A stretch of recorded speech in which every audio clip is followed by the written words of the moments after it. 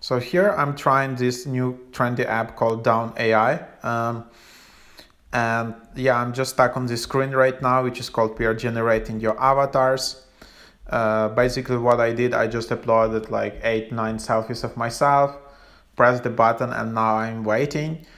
Um, like yeah, to be fair, I'm I upgraded to the pro version to be to see if it's faster or not. Like before that, before upgrading, I also tried to generate this model and it just took like hours. It wasn't progressing really fast. I didn't know the app was stuck here and anything.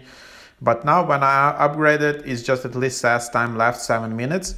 So at least I know after which period I will be able to access this AI avatar.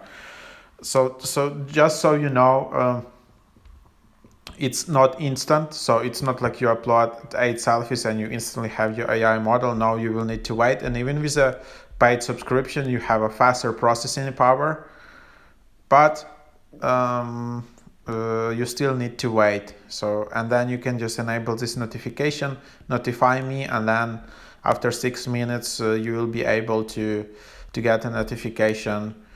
Uh, yeah, that your avatars are ready and your AI model is ready. Uh, so that's basically the idea. Um, hope that is helpful. And uh, yeah, so something like that. Super interesting app. And then after you generated your first AI model, you will be able to apply all these filters back in time, cool avatars, editing, and all of that. Hope that is helpful.